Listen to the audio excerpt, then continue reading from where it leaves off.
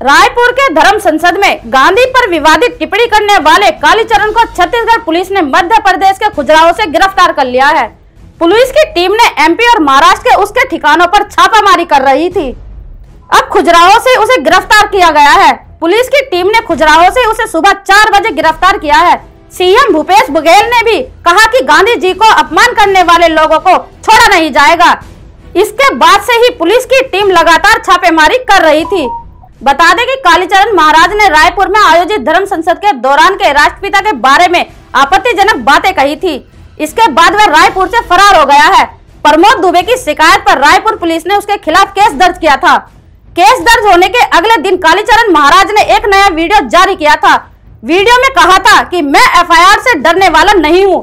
फांसी पर भी चढ़ा दिया जाए तो मैं अपनी बात से अड़ा रहूँगा। कालीचरण महाराज ने कहा था कि मैं गांधी से नफरत करता हूँ।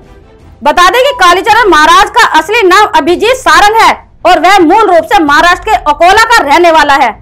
कालीचरण पिछले साल तक चर्चा में आया था जब उसका एक वीडियो सोशल मीडिया पर खूब वायरल हो रहा था। उस वीडियो में वह शिव तांडव स्त्रोत का पाठ करता दिख रहा था।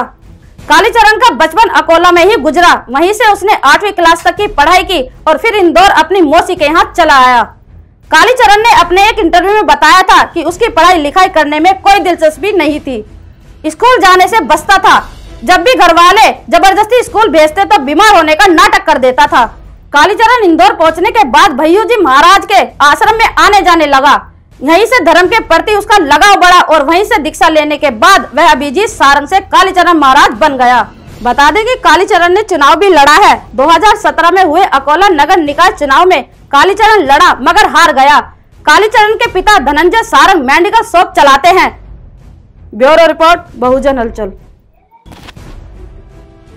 अगर आप चाहते हैं गरीब हर वंचित इंसान की आवाज़ आप तक पहुँचे तो हमारे चैनल को सब्सक्राइब करें और बेल आइकन का बटन दबाना ना भूलें।